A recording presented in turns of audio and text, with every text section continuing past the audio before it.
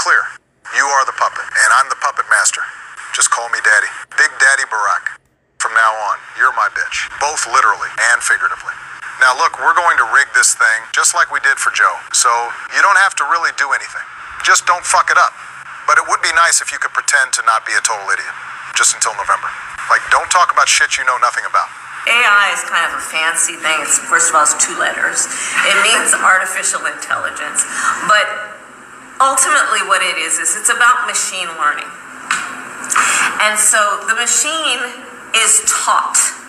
And look, we get it. You like Venn diagrams. You don't have to keep reminding us. I love Venn diagrams. I love Venn diagrams. I love Venn diagrams. And for the love of God, stop with the laugh.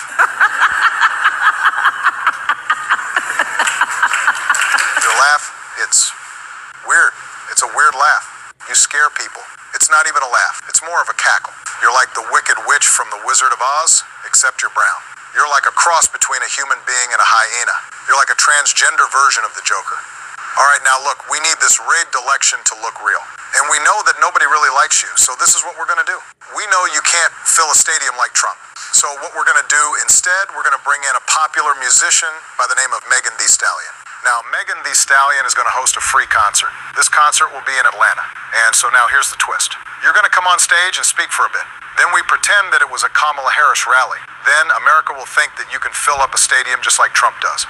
American voters are stupid. They'll totally fall for it. And when speaking, I want you to try to sound as black as you can. Instead of saying everyone, I want you to say y'all.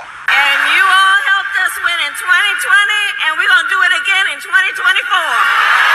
Black people love that shit. I grew up in Hawaii, but hell, it worked for me. All right, what do you think? I'm looking forward to doing this, getting out there, being on the road, and we're to have some fun with this too, aren't we?